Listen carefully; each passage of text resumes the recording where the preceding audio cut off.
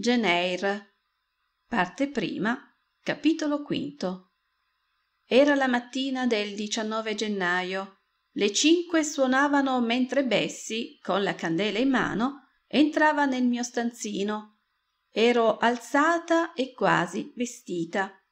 Mi ero levata una mezz'ora prima e dopo essermi lavata il viso mi ero infilata i vestiti alla pallida luce della luna, i cui raggi penetravano nella stanza dall'angusta finestra.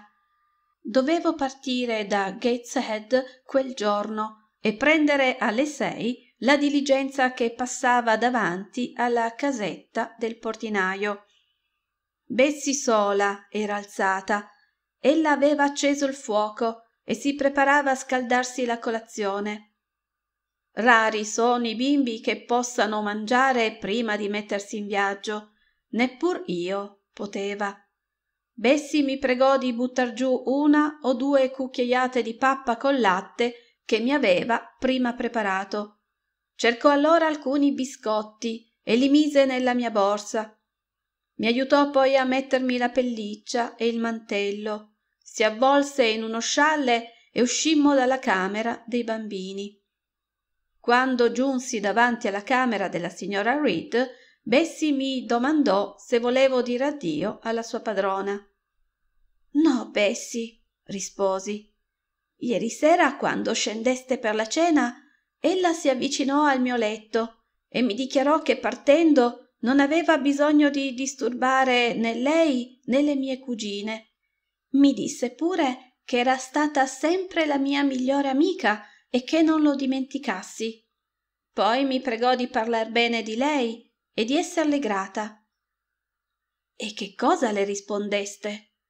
Niente.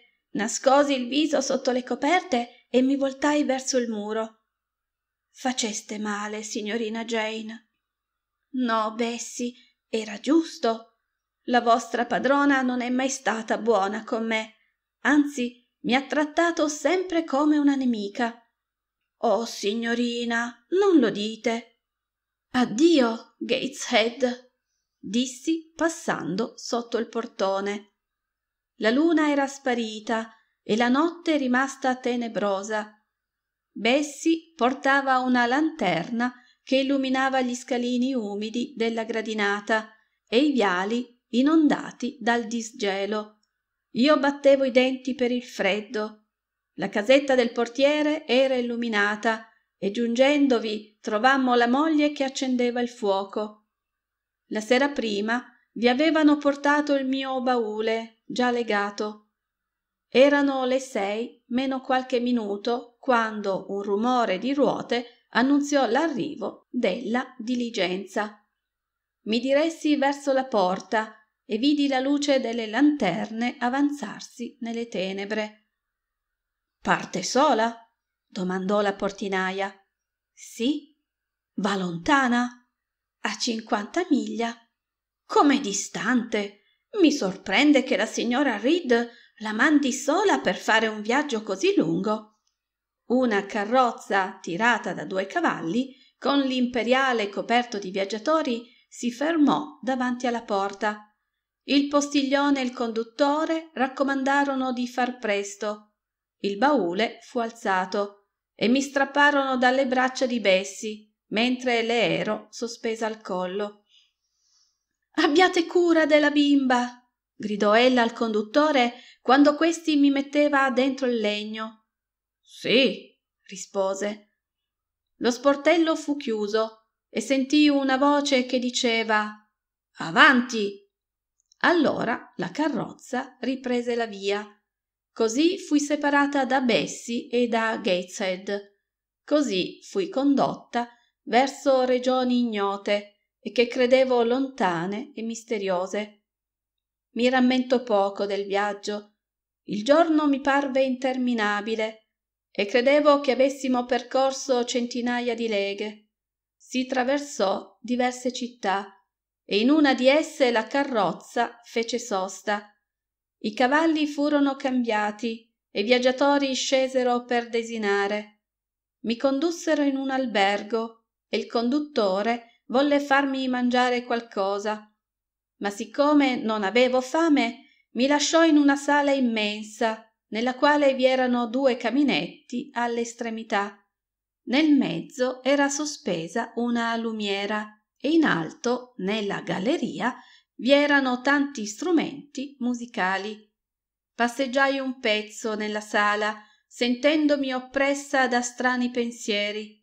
Temevo che mi portassero via, perché credevo ai rapitori, le cui gesta figuravano spesso nei racconti di Bessi. Alla fine il conduttore tornò e mi fece salire in carrozza e poi soffiò nel corno e la carrozza partì. La sera si annunziava umida e carica di nebbia. Quando annottò, capii che eravamo molto distanti da Gateshead. Non traversavamo più città. Il paesaggio era cambiato. Alte montagne bigie limitavano l'orizzonte. L'oscurità aumentava più ci inoltravamo nella valle. Cullata da suoni armoniosi, mi addormentai e dormivo da un pezzo quando la scossa che fece la carrozza nel fermarsi mi destò. Davanti a me stava una donna che non conoscevo. C'è qui una bimba che si chiama Jane domandò. Sì, risposi. Ella mi fece scender subito e prese in consegna il baule. La diligenza ripartì. Il rumore e le scosse della carrozza mi avevano sbalordita. Riunii le facoltà mentali per guardare attorno a me. Il vento, la pioggia e il buio riempivano lo spazio, però potei distinguere un muro nel quale era aperta una porta. La mia nuova guida me la fece passare e, dopo averla chiusa dietro a sé, spinse il catenaccio. Avevo allora davanti una casa o, per dir meglio, una serie di case che occupavano una vasta area. Le loro facciate eran forate da molte finestre, poche delle quali erano illuminate. Percorsi un viale comodo, in fondo al quale vi era un'altra porta. Di là entrammo in un corridoio che conduceva in una stanza col fuoco la donna mi lasciò sola. Rimasi dinanzi al caminetto, cercando di scaldarmi le mani gelate. Poi volsi intorno lo sguardo. Non c'era lume, ma la fiamma oscillante del caminetto mi mostrava a intervalli un muro coperto di carta, dei tappeti, delle portiere, dei mobili di mogano brillante. Ero in un salotto, non così elegante come quello di Gateshead, ma che mi parve comodo e abbastanza bello. Mi studiavo di capire che cosa rappresentasse un quadro appeso al muro, quando qualcuno entrò con un lume. Dietro vi era una seconda persona. La prima era una donna alta, con occhi e capelli neri, con la fronte spaziosa e pallida benché fosse avvolta in uno scialle, mi parve che la sua figura fosse nobile e grave il contegno. Questa bimba è molto piccina per esser mandata qui sola, disse, posando il candeliere sulla tavola. Per un momento mi esaminò, poi aggiunse Bisogna metterla subito a letto, è stanca. Siete stanca, bambina? mi domandò posandomi la mano sulla spalla. Un poco, signora.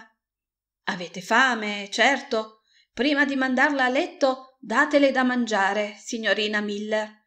È la prima volta che lasciate i vostri genitori per venire in pensione, piccina? Le risposi che non avevo genitori. Mi domandò da quanto tempo li avevo perduti, quanti anni avevo, come mi chiamavo, se sapevo leggere, scrivere e cucire quindi mi accarezzò dolcemente il viso, dicendo Spero che sarete buona. Poi mi consegnò alla signorina Miller. La giovane signora che avevo lasciato poteva avere poco meno di trent'anni. Quella che mi accompagnava era un poco più giovane. La prima mi aveva colpito per l'aspetto, per la voce e per lo sguardo. La signorina Miller era meno notevole. Aveva la carnagione rossastra a macchie e il viso stanco. La camminatura e i movimenti di lei rivelavano una persona che è sopraccaricata di lavoro. Pareva una sottomaestra e tale era infatti. Ella mi condusse di stanza in stanza, di corridoio in corridoio, attraverso una vasta casa costruita irregolarmente. Un silenzio profondo, che mi sgomentava un poco, regnava in quella parte dell'istituto che avevamo attraversato. Un mormorio di voci si udì ben presto. Entrammo in una vasta sala. A ogni estremità vi erano due tavole, ciascuna delle quali era illuminata da due candele. Attorno alle tavole, sulle panche, erano sedute tante ragazze, dai dieci ai vent'anni. Mi parvero innumerevoli, benché arrivassero appena a ottanta. Esse portavano tutte un uniforme di stoffa scura e di forma strana. Sopra il vestito avevano lunghi grembiuli di tela. Era l'ora dello studio e tutte ripassavano la lezione per il giorno seguente. La signorina Miller mi fece cenno di sedermi su una panca vicina alla porta. Poi dirigendosi in fondo alla stanza, esclamò Monitrici, ricevete i libri di lezione e ritirateli. Quattro ragazze grandi si alzarono, presero i libri e li riposero. La signorina Miller esclamò di nuovo Monitrici, andate a prendere la cena. Le quattro ragazze uscirono e tornarono poco dopo recando un vassoio sul quale era una torta tagliata a pezzi. Nel centro era collocato un boccale e un vaso pieno d'acqua.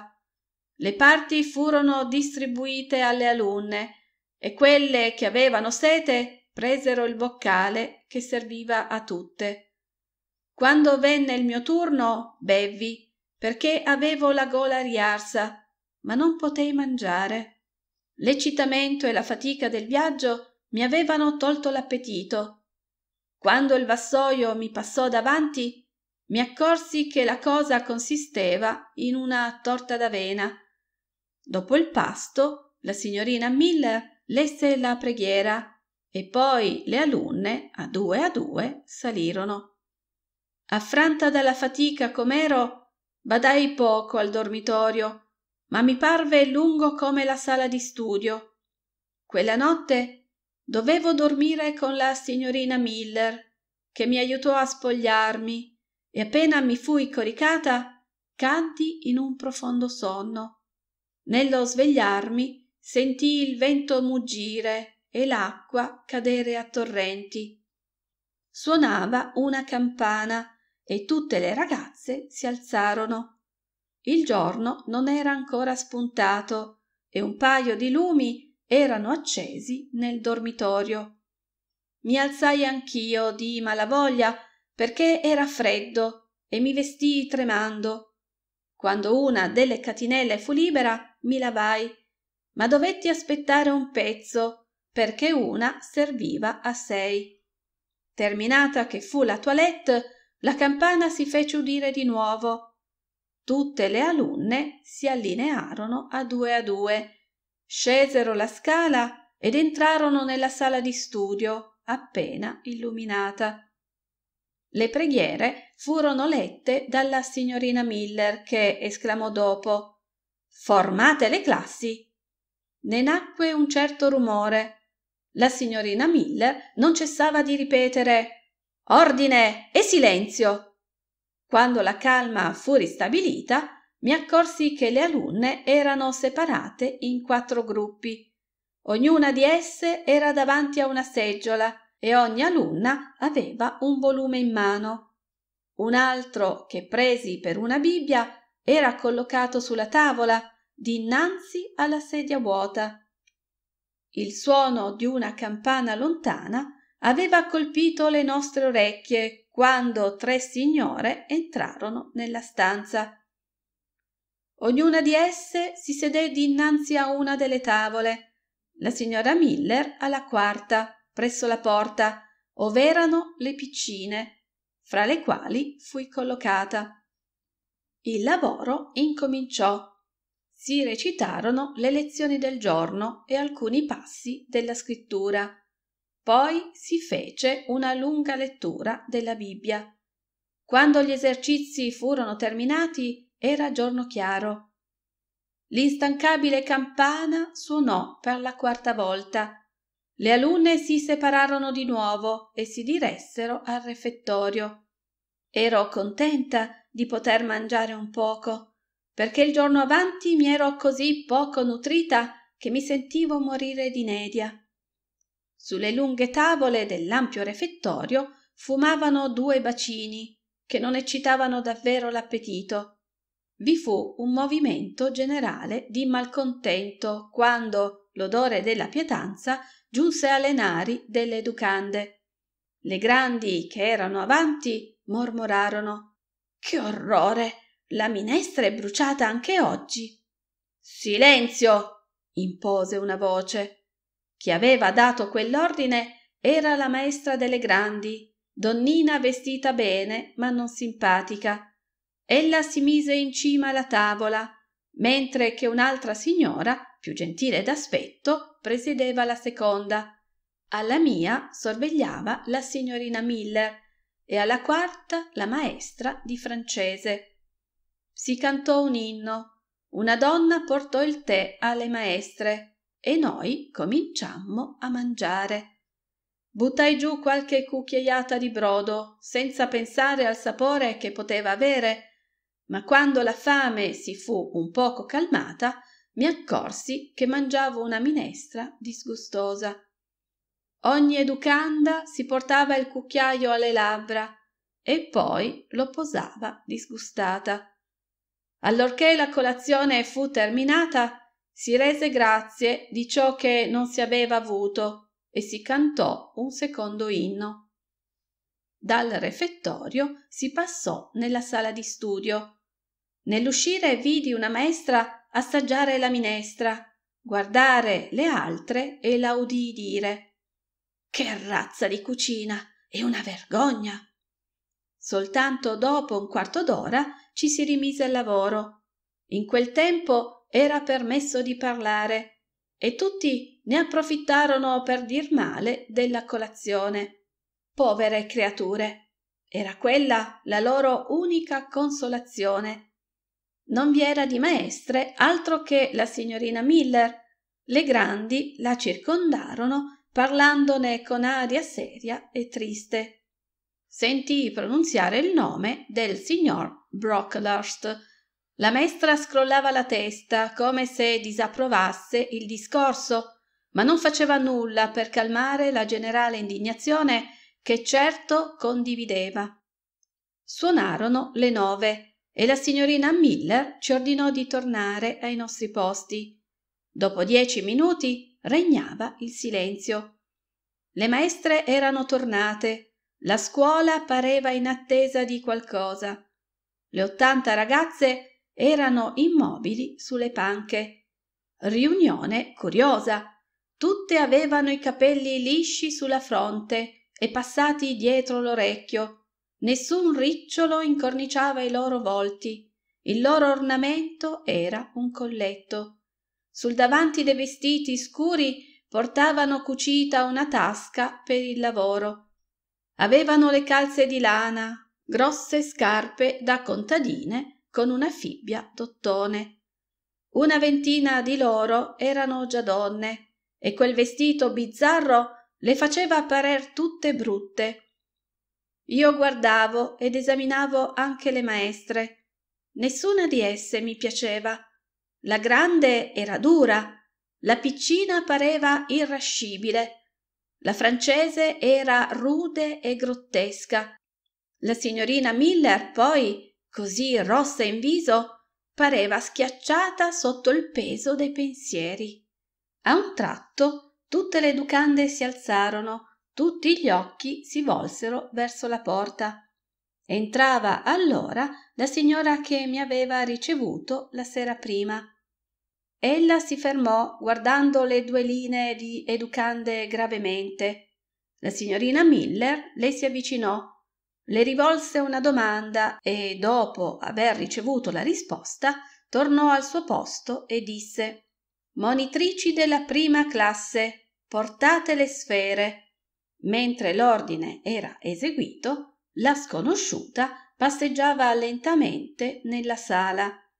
Non so se ho in me un istinto di venerazione, ma rammento ancora il rispetto col quale io seguiva i passi di lei. Alla luce del giorno mi parve bella, alta, ben fatta. Nei suoi occhi bruni brillava una viva benevolenza. I sopraccigli ben disegnati facevano risaltare la candidezza della fronte e i capelli bruni erano scalati in tanti piccoli ricci sulle tempie. Non si portavano allora né ricci lunghi né sgonfi. Il suo vestito, secondo la moda del tempo, era color porpora, con ornamenti di velluto nero frastagliato, e alla cintura le brillava un orologio d'oro, gioiello più raro allora che ora. Per completare quel ritratto occorre aggiungere che la signorina Mary Temple aveva i lineamenti fini, una carnagione pallida ma chiara, un portamento nobile. La direttrice di Lowood si sedé davanti alla tavola su cui erano posate le sfere e riunendo intorno a sé la prima classe incominciò la lezione di geografia. Le classi inferiori furono chiamate dalle altre maestre e per un'ora continuarono le ripetizioni di grammatica e di storia.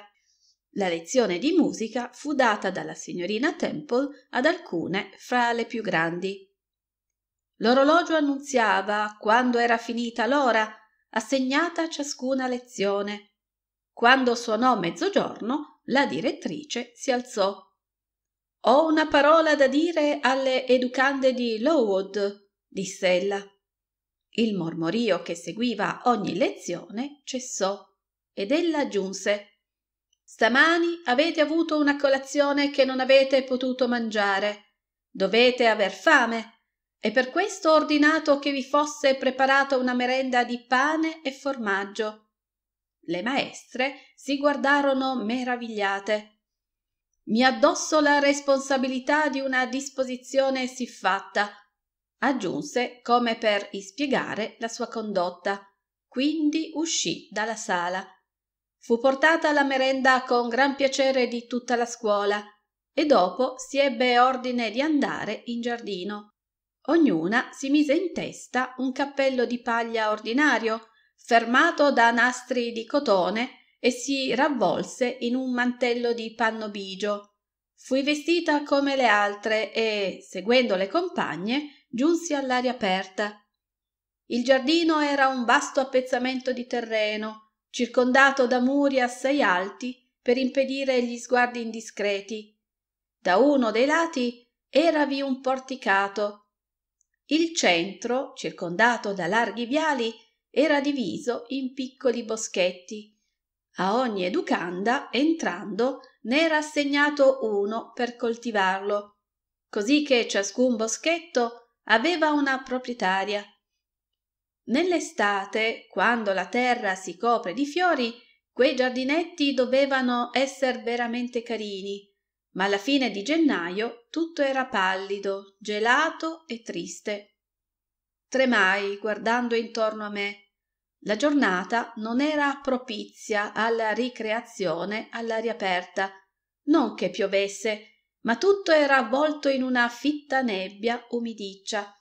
La tempesta del giorno prima aveva mantenuto la terra bagnata. Le più robuste fra le educande correvano da una parte all'altra, facendo esercizi violenti. Alcune, pallide e magre, andavano a rifugiarsi sotto il porticato e dai loro petti usciva spesso una tosse cavernosa. Le più robuste fra le educande correvano da una parte all'altra facendo esercizi molto attivi. Alcune, pallide e magre, andavano a rifugiarsi sotto il porticato e dai loro petti usciva spesso una tosse cavernosa. Non avevo parlato a nessuno e nessuno pareva si accorgesse di me. Ero sola, ma l'isolamento non mi pesava. Vi ero assuefatta. Mi appoggiai a una delle colonne del porticato, avvolgendomi nel mantello. Cercavo di dimenticare il freddo e la fame che mi dilaniava. Io passavo il tempo a esaminare e a pensare, ma le mie riflessioni erano troppo vaghe e troppo spesso interrotte per poter essere riferite. Sapevo appena dov'ero. Gateshead e la mia vita passata fluttuavano dietro a me ad una distanza incommensurabile. Il presente era vago e strano e sul futuro non potevo far pronostici mi misi a guardare il giardino, che pareva quello di un convento. Poi fissai la casa, una parte della quale era grigia e vecchia, mentre l'altra era nuova. Questa parte, che conteneva la sala di studio e dormitori, aveva finestre tonde e munite di inferriata, che le davano l'apparenza di una chiesa. Una larga pietra, collocata sopra l'ingresso, portava questa iscrizione Istituzione di Lowood. Questa parte è stata costruita da Noemi Brocklehurst del castello di Brocklehurst in questa contea. Che la nostra luce splenda dinanzi agli uomini affinché possano vedere le vostre opere buone e glorificare vostro Padre che è in cielo. San Matteo, versetto 16. Dopo aver letto e riletto l'iscrizione, capii che doveva essermi spiegata, perché da me non avrei afferrato il senso. Pensavo a quel che voleva dire istituzione e mi studiavo di trovare il rapporto che poteva esservi fra la prima parte dell'iscrizione e il versetto della Bibbia quando una tosse cavernosa mi fece volger la testa. Scorsi allora una ragazza seduta a poca distanza da me su una panchina. Ella teneva fra le mani un libro che pareva assorbire tutta la sua attenzione. Lessi il titolo. Era Rasselas. Volgendo una pagina, la ragazza alzò gli occhi e ne profittai per parlarle. Vi diverte codesto libro? le domandai. Mi piace, risposemi. Di che cosa parla? Non potevo capire come mai io avessi la sfacciataggine di intavolar discorso con una sconosciuta, contrariamente alla mia indole. L'occupazione in cui l'avevo trovata assorta aveva certo fatto vibrare nel mio cuore una corda sensibile. Volete vederlo? mi disse la sconosciuta offrendomi il libro. Fui convinta da un rapido esame che il contenuto era meno interessante del titolo e, non vedendovi rappresentati né geni né fate, glielo resi. Ella lo riprese senza dirmi nulla e stava per rimettersi a leggere quando la interruppi di nuovo. Potete dirmi? le domandai che cosa significa l'iscrizione incisa su quella pietra? Che cos'è l'istituzione di Lowood? E la casa dove siete venuta ad abitare? Perché si chiama istituzione? Che è forse diversa dalle altre scuole? È in parte una scuola di beneficenza. Voi, io e tutte le altre siamo figlie della carità. Dovete essere orfana. Difatti, di mio padre e di mia madre non mi ricordo neppure. Ebbene, tutte le ragazze che vedete qui hanno perduto almeno uno dei genitori. Ed ecco la ragione che fa dare alla scuola il nome di istituzione per l'educazione delle orfane. Paghiamo o siamo educate gratuitamente? Noi paghiamo o i nostri amici pagano 15 sterline l'anno allora perché ci chiamano le figlie della carità? perché la somma che paghiamo non basta alle spese per il nostro mantenimento e per la nostra educazione. Ciò che manca è fornito dai benefattori. E chi sono essi? Alcune persone caritatevoli dei dintorni e anche di Londra. E chi è quella Noemi Brocklehurst? La signora che ha costruita la parte nuova della casa, come indica l'iscrizione. Suo figlio ha ora la direzione generale della scuola. Perché? Perché è tesoriere e capo dello stabilimento. Allora la casa non appartiene a quella signora che ha un orologio d'oro e che ci ha fatto dar la merenda? La signorina Temple è soltanto la direttrice, ma vorrei che le appartenesse. Ella deve dar conto di tutto al signor Brocklehurst. È lui che compra il vitto e i vestiti. E abita qui? No, abita una villa distante mezza lega da Lowood. È buono? È un pastore e si dice che faccia molto bene. Come si chiamano le altre maestre? Quella che vedete là col viso rosso è la signorina Smith. Ella taglia e sorveglia il cucito, perché cuciamo da noi vesti e biancheria. La piccina con i capelli neri è la signorina Scatcherd, dà lezioni di storia e di geografia e fa ripetizione alla seconda classe. Quella infine che vedete ravvolta nello scialle e che porta il fazzoletto legato da un lato con un nastro giallo è la signora Pierrot. Viene da Lille e insegna il francese. Volete bene alle maestre? Abbastanza. Volete bene alla piccina che ha i capelli neri e alla signora non so pronunziarne il nome come voi. La signorina Scatcherd è impetuosa e bisogna fare attenzione di non ferirla. La signora Pierrot è abbastanza buona. Ma la direttrice è la migliore, non è vero? Oh, la signorina Temple è buonissima, sa molto ed è superiore a tutte le maestre, perché è più istruita di tutte. E da molto tempo che siete qui? Due anni. Siete orfana? Mia madre è morta.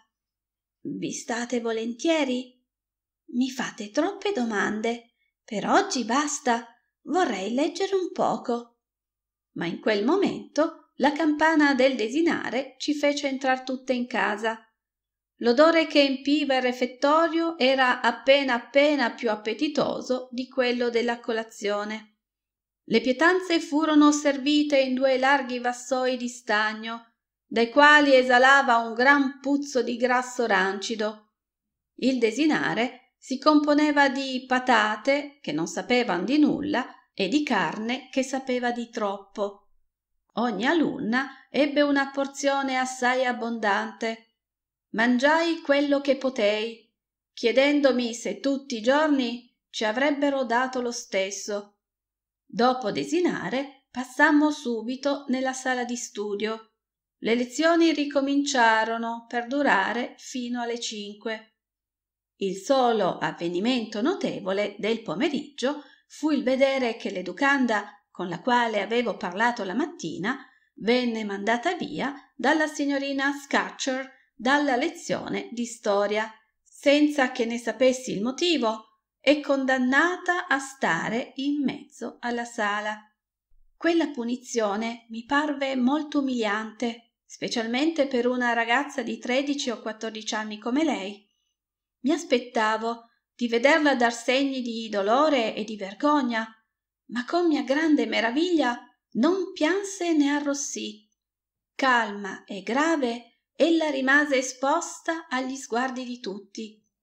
Pensavo che, se fossi stata al suo posto, avrei desiderato che la terra mi inghiottisse ma pareva che ella pensasse a qualcosa che non era il suo castigo, qualcosa che non era la sua triste situazione, a qualcosa che non era attorno a lei né davanti a lei. Avevo sentito parlare di persone che sognano a occhi aperti. Sognava forse? Il suo sguardo era fisso in terra, ma sono sicura che non la vedeva. Pareva che lo sguardo di lei scrutasse il suo proprio cuore, che fosse fisso nei ricordi, io credo, e non in ciò che era realmente presente. Quella ragazza era un enigma per me e non sapevo se fosse buona o cattiva. Alle cinque ci portarono di nuovo da mangiare. Questo pasto consisteva in una tazza di caffè e in un pezzetto di pane nero. Bevvi il caffè e divorai il pane, ma avrei mangiato di più perché avevo sempre fame. Dopo avemmo mezz'ora di ricreazione, poi di nuovo lo studio. Finalmente il bicchier d'acqua e la fetta di torta d'avena, la preghiera e tutte andammo a letto. Così passai il primo giorno a Lowood. Capitolo sesto. Il giorno seguente incominciò nella stessa maniera che il primo. Ci levammo, ci vestimmo senza lume, ma quella mattina fummo dispensate da lavarci perché l'acqua era gelata nelle catinelle. La sera avanti c'era stato un cambiamento di temperatura e il vento di nord-est, soffiando tutta la notte attraverso le fessure delle finestre, ci aveva fatto tremare nei nostri letti e aveva gelato l'acqua. Prima che l'ora e mezza destinata alla preghiera e alla lettura della Bibbia fosse trascorsa, io mi sentivo morire di freddo la colazione giunse infine e la mia parte mi parve scarsa, ne avrei mangiato il doppio. Quel giorno fui arruolata nella quarta classe e mi dettero da studiare. Fino a quel momento ero stata spettatrice a Lowood, ora divenivo attrice. Siccome ero poco assuefatta a imparare a mente da principio le lezioni mi parvero lunghe e difficili. Il passaggio continuo da uno studio a un altro mi imbrogliava. Così fui ben felice quando, verso le tre del dopopranzo, la signorina Smith mi consegnò una striscia di mussolina, lunga due metri, di tale e aghi, e mandandomi in un angolo mi ordinò di orlarla. Quasi tutte cucivano in quell'ora eccetto alcune alunne che leggevano a voce alta attorno alla sedia della signorina Scatcherd. Esse leggevano la storia d'Inghilterra e fra le lettrici riconobbi la ragazza con cui avevo parlato nel porticato. Al principio della lezione ella era in prima fila, ma per qualche errore di pronunzia o per non essersi fermata quando doveva, fu mandata in fondo alla stanza e la signorina Scatcherd continuò a perseguitarla anche laggiù con le sue incessanti osservazioni. Ella si voltava sempre verso l'educanda per dirle Burns, tenete male un piede, raddrizzatelo subito. Burns, piegate il mento in modo sconcio, smettete subito. Burns, vi ho detto di tenere la testa dritta. Non voglio vedervi davanti a me in quell'atteggiamento. Quando il capitolo fu letto due volte, vennero chiusi i libri e l'interrogatorio cominciò. La lezione comprendeva una parte del regno di Carlo I. Vi furono diverse domande sul tonnellaggio, sull'imposta e il diritto pagato dai bastimenti alle quali molte alunne non sapevano rispondere, ma tutte quelle piccole difficoltà erano subito risolte appena era interrogata la Burns. Pareva che la sua mente avesse ritenuta tutta la lezione e sapeva rispondere ad ogni domanda. Mi aspettavo che la signorina Scatcher le facesse una lode, invece la sentii gridare a un tratto Ditemi perché non vi siete pulite le unghie, porcellina insopportabile. La ragazza non rispose e io fui meravigliata del suo silenzio. Perché, pensavo, non le dice che non ha potuto lavarsi stamani essendo l'acqua gelata. Ma in quel momento la signorina Smith, pregandomi di reggerle una matassa di filo, distrasse la mia attenzione. Mentre che ragomitolava, mi parlava di tanto in tanto, domandandomi se ero stata in un altro istituto, se sapevo marcare, cucire e far la calza. Quando tornai al mio posto, la signorina Scatcherd aveva dato un ordine di cui non capii l'importanza, ma vidi Burns uscir subito dalla sala, andare in uno stanzino dove si tenevano i libri e tornare con un pacco di verghe legate insieme. Ella presentò con rispetto il fatale strumento alla signorina Scatcherd. Poi, senza averne avuto ordine, si sciolse il grembiule e la maestra le dette subito dodici colpi sulle spalle con il fascio di verghe. Nessuna lagrima comparve sugli occhi di Burns mentre io avevo terminato di cucire, perché le dita mi tremavano a quello spettacolo ed ero agitata da una collera impotente. Testarda! esclamò la signorina Scatcher. Nulla dunque può correggervi di questo disordine. Riportate queste verghe. Burns obbedì. La guardavo furtivamente. Nel momento in cui usciva dalla stanza ripose il fazzoletto in tasca. La traccia di una lagrima le brillava sulle guance scarne. La ricreazione della sera era l'ora più piacevole della giornata. Il caffè e il pane, distribuiti alle cinque, senza calmare la fame, rianimavano la vitalità. Cessava il lungo ritegno. La sala era più calda che la mattina. Si alimentava meglio il fuoco per supplire alle candele non ancora accese la pallida luce del caminetto, il rumore concesso, il vocio, tutto insomma destava in noi una dolce sensazione di libertà. La sera di quel giorno io passeggiavo fra i gruppi allegri, senza una compagna, eppure non mi sentivo isolata. Forse se avessi lasciato una casa cara e buoni parenti, in quel momento sarei stata disperata, ma non provavo nessun rammarico. Saltando le panche e strisciando sotto le tavole, giunsi al caminetto e mi inginocchiai davanti al fuoco. Vi trovai Burns, assorta e silenziosa.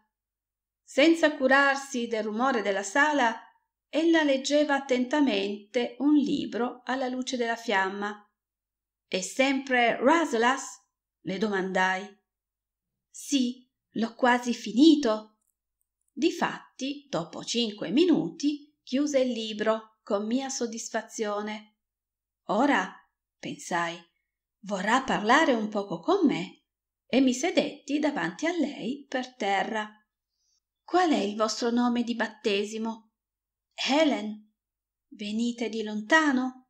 Vengo da un paese del nord, vicino alla Scozia. Ci tornerete? Lo spero, ma nessuno è sicuro dell'avvenire. Dovete desiderare di andarvene di qui. No, perché dovrei desiderarlo? Sono stata mandata a Lowood per istruirmi. Che ci guadagnerei andandomene, senza aver compiuta l'istruzione? Ma la signorina Scatcher è così crudele con voi. Crudele no. Ella odia i miei difetti. Se fossi in voi, la odierei, le resisterei e, se mi battesse con le verghe, gliele strapperei di mano e gliele romperei sul viso. È probabile di no, ma se lo faceste, il signor Brocklehurst vi manderebbe via e cagionereste un gran dolore ai vostri parenti.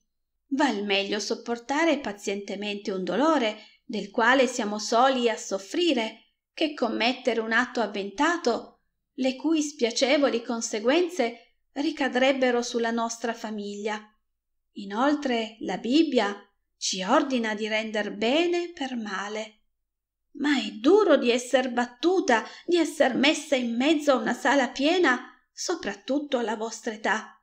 Sono molto più giovane, eppure non lo sopporterei. Eppure sarebbe dovere vostro di rassegnarvi, se non poteste evitarlo. Sarebbe una viltà da parte vostra di dire non posso, quando sapeste che è il vostro destino. Io l'ascoltavo meravigliata. Non potevo capire quella dottrina di rassegnazione e meno ancora accettare quella indulgenza che dimostrava per chi la puniva. Sentivo che Ellen Burns considerava ogni cosa alla luce di una fiamma invisibile a me. Poteva darsi che ella avesse ragione, ma non ero disposta ad approfondire quella faccenda. Dite che avete dei difetti, Helen. Quali sono? Mi pare che siate tanto buona. Imparate da me, allora, a non giudicare dalle apparenze. Sono molto negligente, come dice la signorina Scatcher. Metto raramente le cose in ordine e non ve le lascio mai. Dimentico le regole stabilite. Leggo quando dovrei imparare le lezioni. Non ho alcuna, e dico talvolta come voi che non posso tollerarle, nessuna regola. Tutto questo irrita la signorina Scatcher che è linda, puntuale ed esatta, e intrattabile e crudele, aggiunsi. Ma Ellen non volle ammettere l'aggiunta e tacque. La signorina Temple è forse severa come la signorina Scatcher? Nel sentir pronunziare il nome della direttrice, un dolce sorriso illuminò il serio volto di Ellen. La signorina Temple è piena di bontà, disse. Le fa pena di dover esser severa anche con le più cattive. Ella vede i miei difetti e mi riprende dolcemente. Se faccio cosa degna di lode, mi ricompensa liberalmente. E una prova del mio naturale difettoso la vedo nel fatto che i rimproveri di lei, improntati a tanta dolcezza e tanta ragionevolezza, non hanno il potere di emendarmi, e le sue lodi stesse che hanno tanto valore ai miei occhi, non possono stimolarmi a divenire esatta e perseverante. È strano, esclamai, è tanto facile di essere accurata. Per voi non ne dubito. Stamattina, durante le lezioni, ho visto che eravate attenta.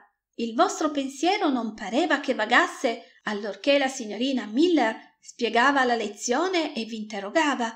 Il mio invece viaggia sempre.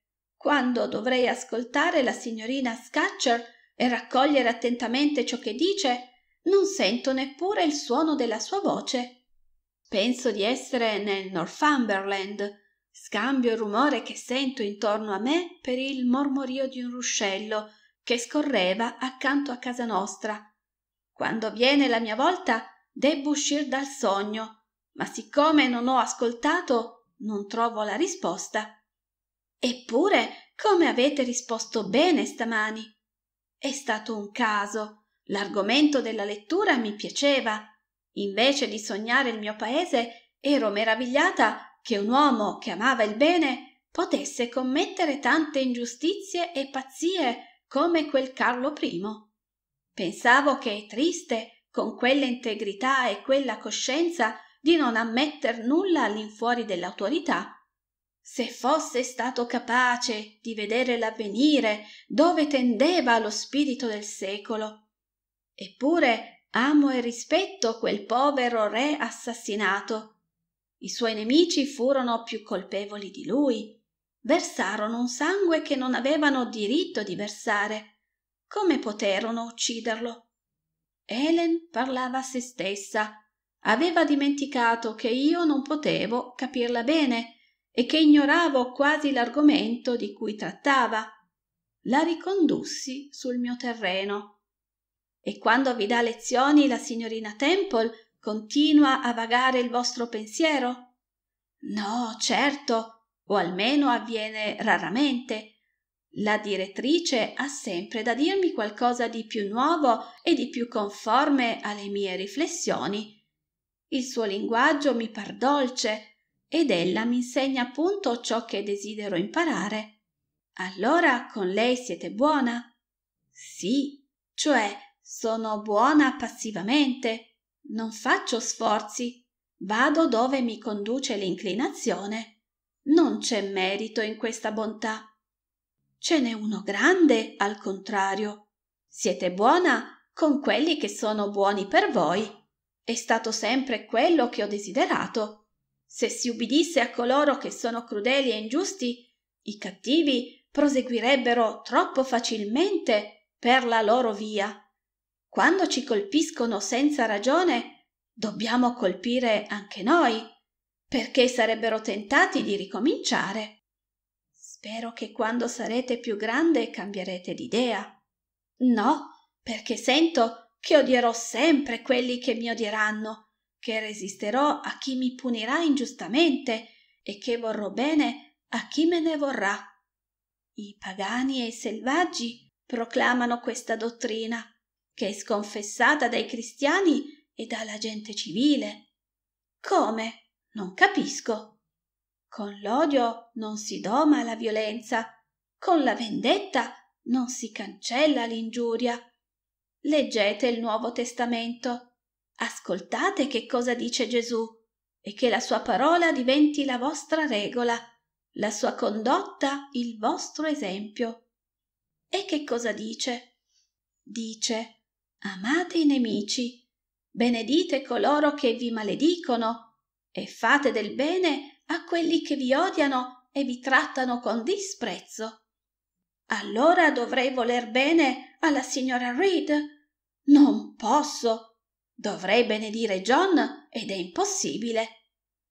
Helen mi disse di spiegarmi e cominciai allora a narrarle i miei dolori e i miei risentimenti. Nel parlare mi eccitavo e divenni amara e spietata. Helen mi ascoltò pazientemente fino alla fine. Mi aspettavo qualche osservazione, ma tacque. Ebbene, le domandai, la signora Reed non è forse una donna dura e senza cuore? Senza dubbio. Ella non è stata buona con voi, perché non le piaceva il vostro carattere come il mio non piace alla signorina Scatcher. Ma come vi rammentate esattamente tutte le azioni e le parole di lei? Che profonda impressione vi hanno fatto le sue ingiustizie. Nessun maltrattamento ha lasciato in me traccia così profonda. Non sareste più felice se cercaste di dimenticare la sua severità e le emozioni violente che ha eccitato in voi? La vita mi par troppo breve per doverla spendere a odiare e a notare i torti altrui. Non siamo tutti carichi di peccati in questo mondo?